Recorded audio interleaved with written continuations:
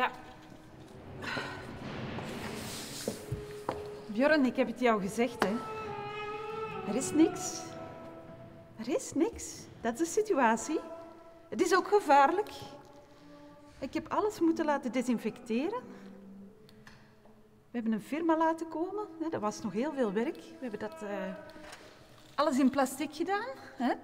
Misschien kan je, ja, eh, bon, ik weet het eigenlijk niet, maar misschien, misschien kan je de spulletjes nog wel terugvinden. Ik zal u de nummer geven, hè. Björn?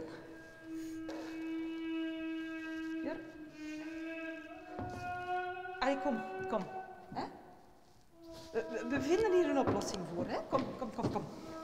Het is al goed.